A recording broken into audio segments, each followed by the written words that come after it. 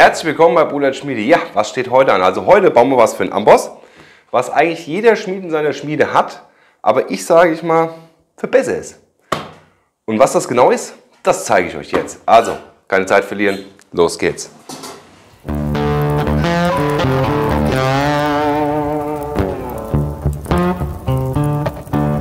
Vorab, alle Gegenstände, die ihr in diesem Video seht, sind selber gekauft und erworben. Das erste, was wir brauchen, ist ein Stück Vierkantmaterial. Natürlich fast passend zu unserem Gesenkloch. So ja, 10, 15 cm lang würde ich sagen in der Länge. Und damit gehen wir jetzt erstmal an der Bandschleife.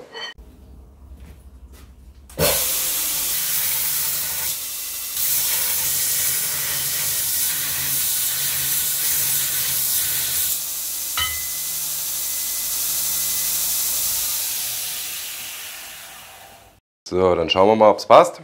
Aber ich denke mal schon. Perfekt.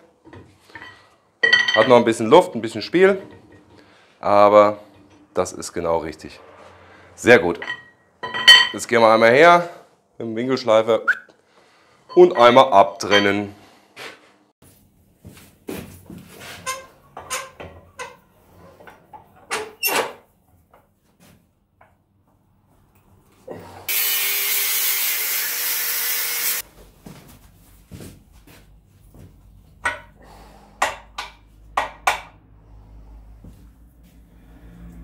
So, jetzt schauen wir mal, ob das reinpasst.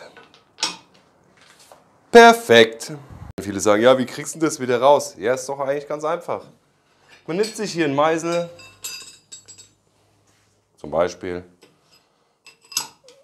und drückt ihn einfach, na,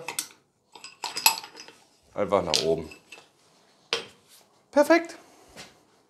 Das nächste, was wir brauchen, ist ein Stück Flachstahl. 10 mm in der Dicke, 500 mm in der Länge und 15 mm in der Breite. Der nächste Schritt ist wie folgt. Wir messen uns unser Gesenkloch aus, machen verschiedene Anrisse und anschließend nehmen wir unser Stück, was wir eben geschliffen haben und schweißen es einmal schön an.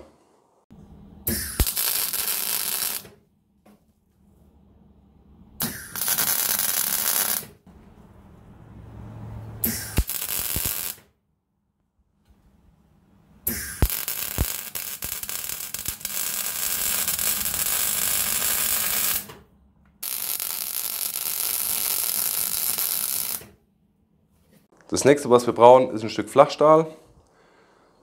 30 mm in der Breite, 4 mm in der Dicke. Und dann schneiden wir uns zwei Stücke jeweils von 100 mm ab.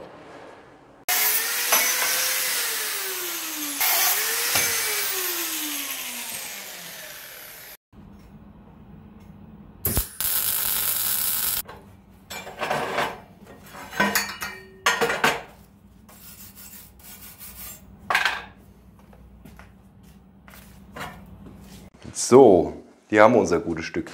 Jetzt werden viele sagen, öh, was ist das denn? Da hast du was angeschweißt, da was angeschweißt.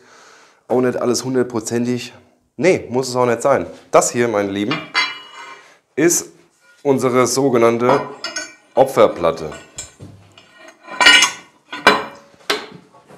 Und für was man das braucht, das zeige ich euch jetzt. Angenommen, ihr habt hier euer Vierkantmaterial, und ihr wollt das spalten. Natürlich legt ihr das auf den Amboss, nehmt euren Warmschrot und haut von oben drauf.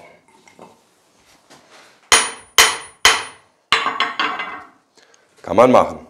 Die Opferplatte ist jetzt dafür gedacht, von den letzten 2-3 mm. Weil es gibt manchmal Spaltungen, da kann man das nicht drehen, das Werkstück, sondern da muss man genau an dieser Ecke bzw. an dieser Stelle spalten. Und dann setzt ihr an, dann seid ihr durch und habt nicht euer Werkzeug stumpf gemacht oder kaputt gemacht, weil der Amboss ist gehärtet, der Warmschrotmeißel ist gehärtet und das hier ist eine ganz normale Baustahlplatte und die ist super weich. Lieber ein Cut in diese Opferplatte als ein Amboss. Gibt es noch Situationen, ja, Ihr habt den Warmschrot in der Hand, ihr habt den Hammer in der Hand, ihr braucht ihr noch den dritten Arm. Video dazu findet ihr auch hier auf dem Kanal. Gibt es entweder als Schraubstock-Variante oder hier als ganz normalen Niederhalter zum Runterschlagen. Und dann kann es sein, Werkstück eingespannt glühenden Zustand. Ihr müsst auch eine Spaltung machen. Ihr habt die Hände frei, glücklicherweise, weil ihr den dritten Arm habt. Könnt das Werkstück abschroten oder halt spalten, je nachdem, was ihr halt vorhabt. Und euer Meißel passiert halt nichts. Also, das ist schon, und das Tolle ist, ich habe ja links und rechts das Stück Flachstahl angeschweißt, da passiert nichts. Und wenn, das, wenn diese Platte irgendwann kaputt ist, lauter Katzen drin, entweder ziehe ich ein paar Schweißnähte drauf, schleife das wieder glatt und gut ist, oder ich tausche einfach komplett aus. Also wie gesagt, jeder Schmied sollte sowas in der Schmiede haben. Ja, willkommen zurück. Ich würde mal sagen, unsere Nutzplatte oder Opferplatte ist jetzt keine Schönheit, aber es tut, was es soll. Das heißt, einmal die Bahn schützen, das Werkzeug schützen und das sollte jeder Schmied definitiv in seiner Schmiede haben. Wenn euch das Video gefallen hat, dann lasst mir gerne einen Kommentar da, ein Like da und über ein Abo würde ich mich natürlich riesig freuen. In diesem Sinne, das war's von mir.